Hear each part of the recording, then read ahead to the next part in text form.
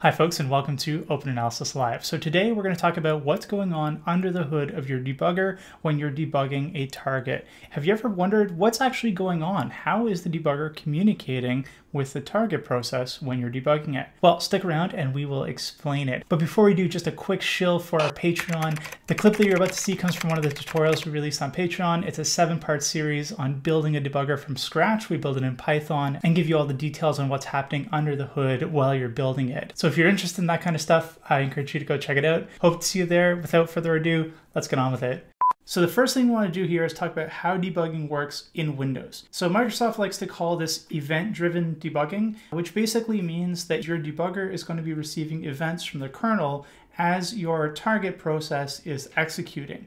So we're going to go through what those events are in a minute, but basically the overview here is that you'll have a debugger process, a target process, and it is in fact the Windows kernel that is responsible for taking events from the target process and sending them to your debugger.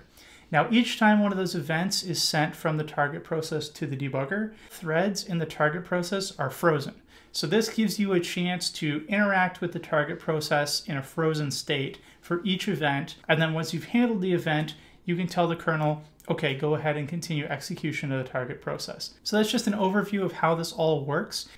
Now that you've attached to a process or started a process and you've registered yourself as a debugger with the kernel for that target process, you can start receiving events from the process. Now the way this is done is actually very simple. It's just two API calls, two Windows API calls. The first one is wait for debug event, and this is a blocking API call. So when you call this, it will actually wait until it receives an event from the kernel from that target process. Basically, you call wait for debug event and then receive the events from the kernel. Once you've received an event, you can process it and then to tell the kernel to continue execution of the target, you call another API call called continue debug event.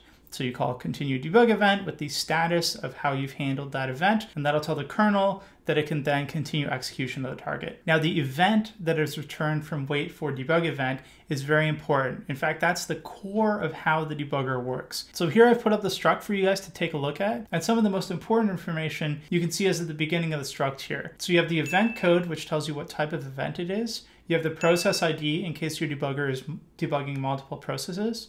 And you have the thread ID, and that's the thread that actually triggered the event. So those are the most important pieces of information. Then you have a union, which has a bunch of different structs depending on the type of event that has been triggered. So let's talk about these types of events and as we go through the modules, we will dig into each individual event. So here's a list of all the events that you can receive. I'll just go through them quickly. You can have an exception debug event, and an exception debug event covers all kinds of different exceptions. It also includes breakpoints, both hardware and software. So those are all covered under the exception event. You have two special WOW64 events, which I'll talk about in a minute, but basically these only occur when you have a 64-bit debugger debugging a WOW 64 32-bit process. You have a create process debug event. So this happens when the target process is first created.